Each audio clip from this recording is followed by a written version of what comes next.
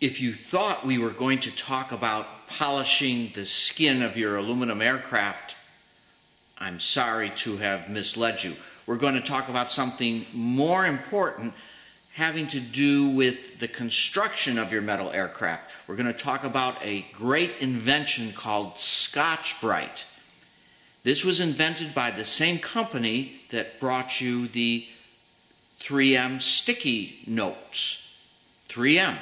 They made a thing called Scotch-Brite. It is made for cutting, dressing, polishing aluminum and similar metals.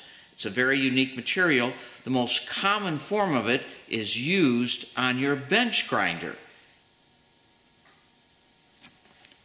This is a Scotch-Brite wheel. It's kind of a strange material. It's very dense and yet it's kind of soft. But anyhow, nothing else will allow you to polish and rub and grind aluminum like this does. That's what it was made for. Let's do some demonstrations.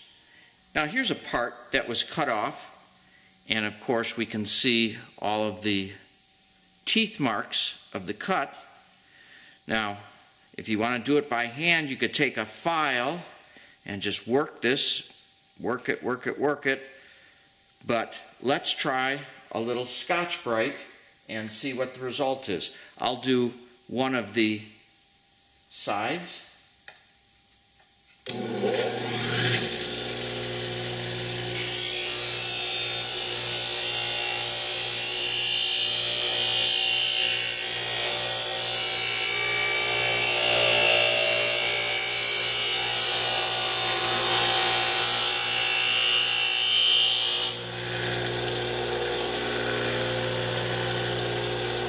And there you go. It's not completely finished, but in just the 30 seconds, it got quite a polish. I could add a little more time to it.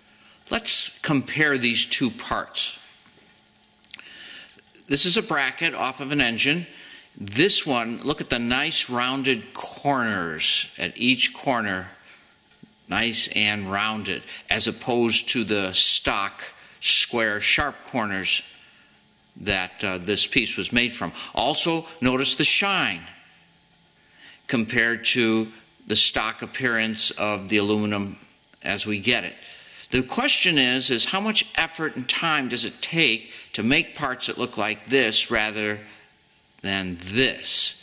Let's see what our Scotch-Brite wheel can do for us to quickly improve the appearance of our aluminum parts. Okay, step one, we want to demonstrate converting a sharp corner into a round one, and this will be real-time demonstration.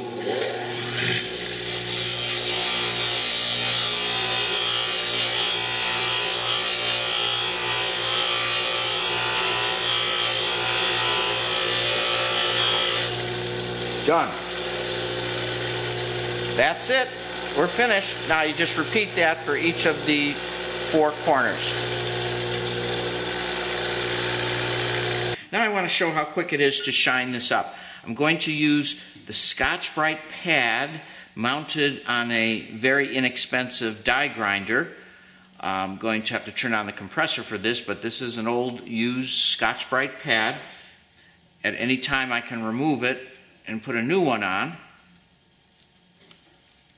That's how quick they are to be replaced. And I'm going to go turn the compressor on.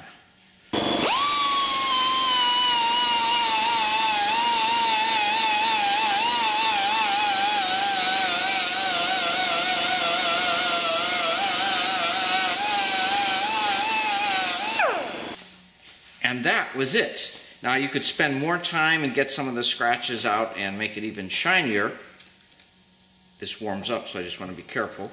But you can compare the part I just did with the original side, and there's quite a difference. And my point is that literally with a few seconds and time with your parts, you can really make them look wonderful. Rounding your corners, that takes about 15, 20 seconds, and then shining it another 15, 20 seconds. And you can spend more time as you desire but it doesn't take much with Scotch-Brite, whether it's in the pad form for polishing or the wheel grinder for uh, more aggressive removing of material. Uh, does a very nice job for your parts. Here's a typical cutoff of an extruded aluminum angle. Note that we have all sorts of teeth marks and we have a bunch of really gnarly edge here from a bad cut. How long does it take us to polish this up and make it look nice? Now, if we just had a regular file, we could sit there and clean it up.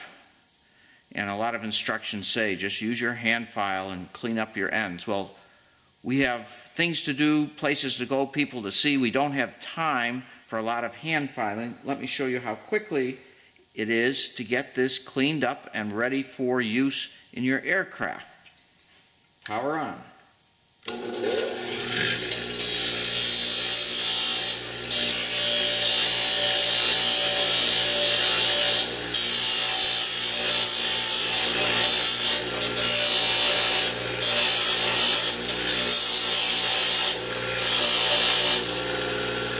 We're done.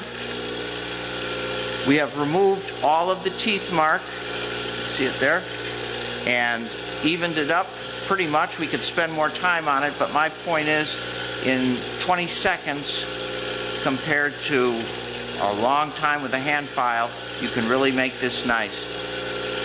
You're looking at the edge of one of my projects here. We have the sheet aluminum uh, standing up the side of a small fuselage. And if we want to deburr the edges of sheets, we can do that too by using our pad and a die grinder and carefully cleaning it up.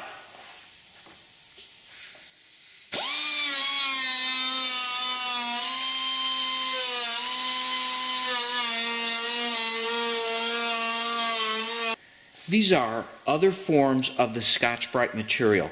Notice a smaller wheel, same material as the big wheel on our bench grinder, and even a smaller one. Now these are meant to be used with a hand die grinder to be spun at very high speeds.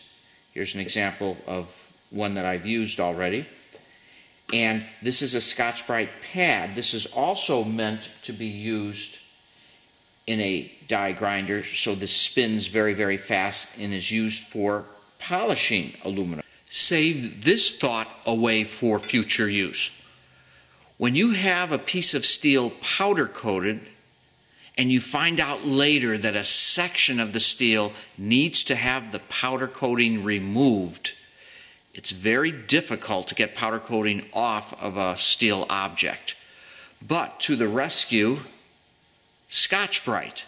A Scotch-Brite spinning pad will give you the easiest method for removing powder coating from a specific area compared to any other method you can think of. Works really nice.